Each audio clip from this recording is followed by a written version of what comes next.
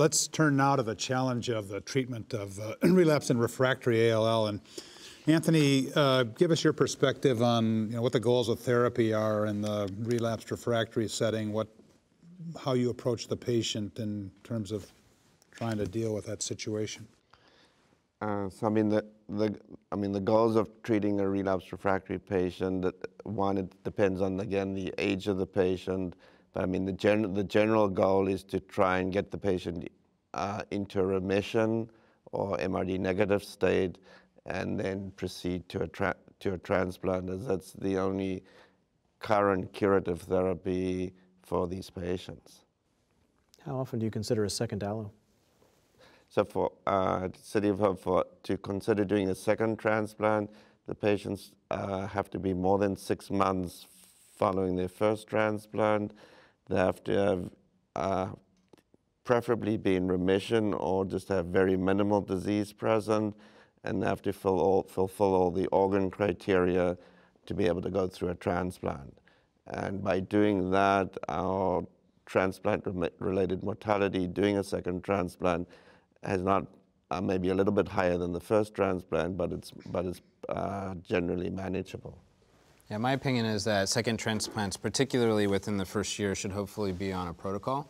Um, I send my patients like that to Anthony because they have the total marrow lymphoid irradiation uh, clinical trial that uh, looks to be very compelling in terms of disease control um, because those patients do have an exceptionally high risk of relapse after a second allo, but they also have increased risks of toxicities such as VOD and the treatment-related mortality really goes up in that well, Yeah, I mean, the reason I ask is for those very high-risk subsets, we have a, a, a gaping hole. We, we transplant them and we know they're still at very high risk of relapse most of our current protocols won't, won't allow those patients to come on. So if it's CAR T, if they're still receiving their immunosuppressive medications, if there's any ongoing GVH, this is a big exclusion. And this is a problem, again, across multiple protocols. Yeah. So I think there are some clinical trials now that are maybe looking at, uh, for very high-risk patients, consider, uh, considering giving blinatumomab as maintenance therapy following a transplant to see if that will prevent relapse. Uh, yeah. I've, I've certainly tried giving it to patients who are still receiving their TAC and their RAPA, which is what we use as our GVH prophy, without much success. Mm-hmm. Okay. Yeah, you have to taper first. I mean, because you know, blinatumomab is is is technically inert without T cells. Exactly. I mean, it's just it's a it's a protein. It's not going to kill cells directly. You need to have the T cell activity. So if they're on a calcineurin inhibitor or other uh, T cell active immune suppressants, high dose steroids, then it's just not going to work. And I think uh, in terms of post transplant maintenance, I think as is often the case in any maintenance therapy in hematologic malignancies, one must ask. Is it better to use it as maintenance or as rescue or salvage therapy at the time of relapse?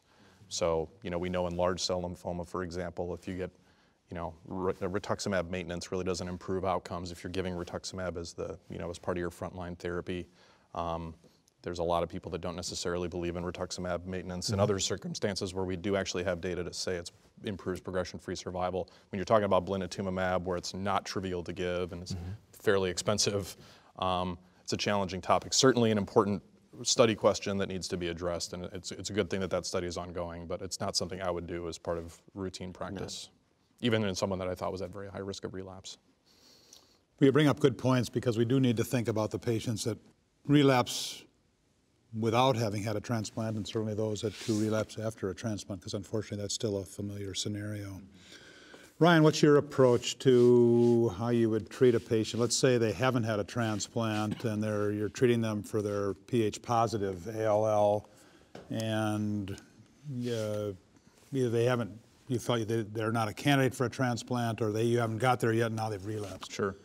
So the, the first thing I do at the time, and we brought this up before, is if, if a patient with Ph positive ALL has relapsed, uh, assuming that they got a TKI as part of their initial therapy, which I certainly hope would be the case, um, I would at that point do Abl kinase domain mutation testing to see if there was a, a, mutation that may have predicted a failure of whatever TKI they were on before. And then if a mutation is present, taking the experience from the CML literature, using that to sort of guide the choices.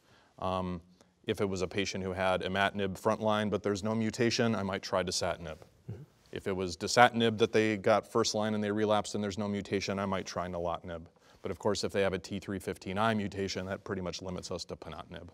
Um, if it's a patient that is relatively young and fit and I'm going to try to get them to transplant and try to get the deepest remission possible, I'll usually not rely solely on a TKI in that setting. I'll usually combine it with some form of chemotherapy.